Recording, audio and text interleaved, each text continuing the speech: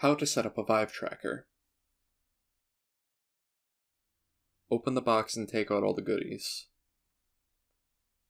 The USB cable, the dongle mount, not required, the dongle. This cable can be used to either connect the dongle mount or charge the tracker. If you're using more than one tracker, make use of the dongle mount. It's best to keep the dongles spread out instead of next to each other to prevent interference. I'm using the dongle mount. Plug the dongle into your computer. Start SteamVR and wait for the base stations to turn on. Hold the power button until you see the light come on. Hold the power button again until it starts flashing. It should now be a green color.